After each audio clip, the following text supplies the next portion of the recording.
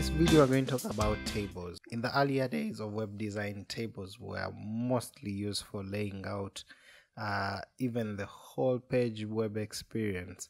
But as we've always known, tables are just supposed to be used for tabular information. Let's say if you're listing users of a particular something and you want table form, so you can use the table block. So if we quickly search for table, uh, by clicking the plus button and typing table we're able to find it here.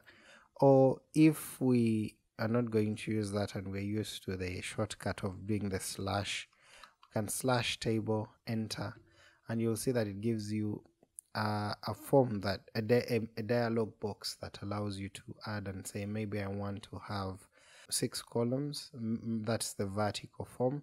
And then I want to have an, about 10 rows. So when I hit create you have your six columns then you have your 10 rows.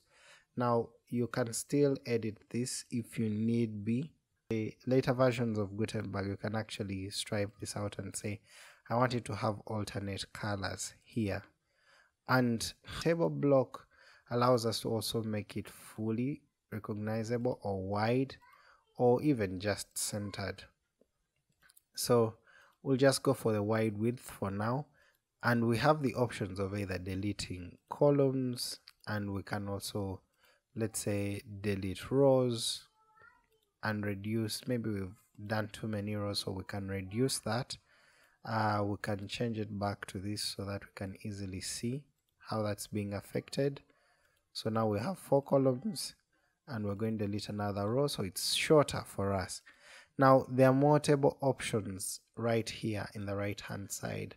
And you can say I want to have a fixed table width for the cells or you can add a header section and you can add even a footer section for you. So you have a footer you have a header and that can be seen. So I'm just going to change the formatting here uh, to allow us see that. So we have our head we have our foot footer there and we can change also the color settings. Let's say we want it to be a little blue or just a little bit of that neat. And then we can also add other classes that we can always use css to affect our table. So we'll have information here. So for example i want to have a first name. Once i type and tab then i am able to get the option. And then i'll do the last name. I'll do the age I'll do the class um, let's say maybe this is school students and then I can say maybe the stream they are in. So that will make it uh, available for me and then yeah so I'll just align this to the center. So you're able to align in the latest version of uh, Gutenberg you're able to align this wherever you want to. You can do individual alignment and that will work out. So we have here left align and then we have centers for both of these. So as you add information you can have John Doe and then John Doe is 34 and he's in uh, blue the blue stream.